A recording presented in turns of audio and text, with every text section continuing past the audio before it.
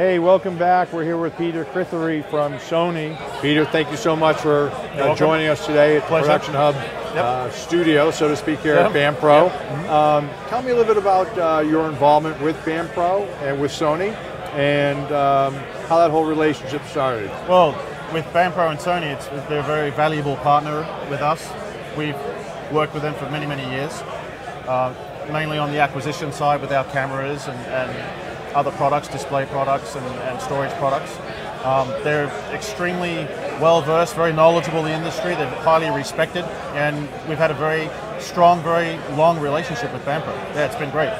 Well, especially here at the open house, you must have a lot of opportunity to hear directly from customers and get Yes. some valuable feedback. Yes. So we we spend a lot of time with customers, especially at events like this, where we get their feedback on what we're doing well, what needs to be improved, what we can potentially engineer for the future, uh, based on their needs. A very diversified set of needs, from camera acquisition to media management, storage products, uh, displays, display technology, whether it's professional or consumer.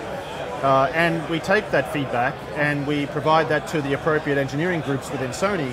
And we have meetings, discussions, uh, sessions about it, and decide what we can do, what can wait, what can't wait, what is viable, you know, what the market needs based on all of that feedback. So we've implemented a lot of firmware updates in our products based on exactly that. Very valuable customer feedback that we get from events like this and, and other, other types of opportunities where if it's technically possible to implement, we'll discuss it. If we can do it, if we have the resources to do it, if it's required by the industry to do it, you know, generally speaking, we'll do it. And, and as I mentioned, a very good example of that is on the camera side, uh, very significant, very frequent firmware updates, introducing new features, powerful features at no cost in most cases to the customer. And in most, most cases, that's based on that customer feedback. We need this feature, can you implement it for these reasons? We can't always think of it ourselves in the beginning, what the customers will need, and the feedback process is a very valuable part of that engineering uh, engineering uh, environment. So. Well, let me ask you this because we talked before you came on the set about some things that Sony is working on, some of the latest developments, some of the newer things. Can you go into that a little bit? Sure. So everyone knows us as being a camera company. We're very powerful in that area. We have many cameras from the Alpha line, consumer line, to the prosumer line, all the way up to the very high end with the CineAlta, the F65, 8K motion picture cameras, everything in between. Shoulder, broadcast, and everything else. Um, what we've been really focusing on is is diversifying our product portfolio so that we essentially become the production partner, the production consultant for the customer, irrespective of what their challenge is in their environment, whether it's acquisition, file management, post production, uh, archiving, distribution, asset management in, in all of its different you know, forms and varieties, um, whether it's server infrastructure, media management. We've been focusing on all of these different pillars of production, the primary pillars of production, so that we have a very diverse ecosystem that can also not only serve their needs in a, in a number of different ways, but also interconnect, so that it, it, it's it's a very viable and very friendly interconnected system of components that make up their workflow, irrespective of what it is that they that they need. From the owner operator level all the way up to the massive enterprise level, you know, customer installations. Well, let's So- let's let's talk about the owner operator because I know you brought a couple of things with you today. Let's can you pull one of those out here and let's Sure. see? Yeah. So what we have here is what we call our optical disk archive uh, technology. It's a disk-based archiving system where it's cartridge-based, where we can go. For example, this cartridge is 3.3 terabytes. Uh, the generation, second generation of this technology can do up to a gigabits per second write speed uh, and you know, much faster read speed. Uh, we developed this for very cost-effective, very long-term very much safe and reliable storage. You can put it on the shelf. Years later, you can take it off the shelf, put it into the, the ODA, the optical disc archive reader, and it, it'll work, no problem. We were kidding about that yeah, earlier. yeah. This has a shelf life of 100 years. 100 years theoretical shelf. shelf life, theoretically, yeah, right. Yeah, but it, it's been um, it's based on optical disc technology. So we already know with CD that you know the later generations of CD, the later generations of DVD, Blu-ray, where they're extremely robust, very cost-effective, very reliable media.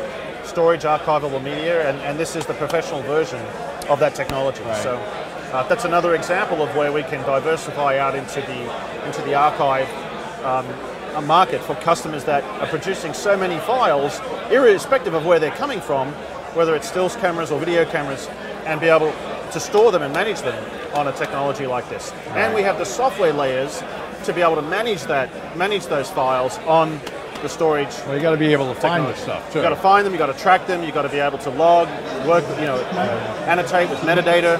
So many, so many different things you need to do with the with the assets. well, I know you have another storage uh, Yeah, solution yeah. here. So this one is, this is our new RAID architecture, RAID hard drive. Uh, comes in four terabyte and six terabyte design, USB 3 and Thunderbolt for extremely fast transfer speeds to and from the your RAID unit. And this is yet another example of how we diversify as a company to offer up, you know, products that customers really need and extremely cost-effective, very powerful uh, technologies. So this and this is upscalable to Well, you can daisy chain them, so you can have multiples of, you know, the sky's the limit through Thunderbolt and Okay. USB USB 3. and, and so it, to, to kind of go back to your original comment about that umbrella approach to like being the uh, provider, you would see this as a very important key in that element. right, right. So if you look at the seven pillars, it's with, with acquisition, file management, uh, post-production, mastering, delivery, archiving, and so forth. Uh, we have products and solutions under each of those major categories, and we can interconnect those solutions and products to form a holistic workflow for the customer. As I mentioned, regardless of the level of what Right. they're dealing with. Another example is um, media asset management. We have a new uh, a new system called uh, uh, Navigator X, which is an extremely powerful HTML5 based media asset management and media object management platform that is again very scalable and uh, very portable. Can can work off cell phones, PDAs, uh, tablets, computers, you know, whatever, and can also be cloud cloud connected as well. Uh, we have our C cloud uh, production platform, which again offers management, workflow, dailies, and other other workflow characteristics in the cloud. And all everything can talk to everything else. Right. So the cameras are the starting point from a, the acquisition part, producing these files, and you go from there. You can stream directly to the to the cloud with a lot of the acquisition solutions. Um, you can talk directly to the RAID drives with uh, Navigator X, with ODA, with Optical Disk Archive, um, and it just goes on and on from there. Well, let me put you on the spot because we only have about a minute left. Yeah. Um, is there any like thing that you'd like to share with our audience that maybe they don't know that they should know about Sony and the direction they're going? you know, the, the key the key message is um, no matter what your workflow, no matter what your challenges are in your environment, we can solve them. Uh, again, mentioning the, the pillars of production, no matter what area you're looking at, take a look at took- take a look at our portfolio. Come to us, contact us, and we can help you with your challenges. We can solve your challenges. Great. Well, thank you very, very much for coming by today. Thank you very much. I very much No, I really appreciate it. it.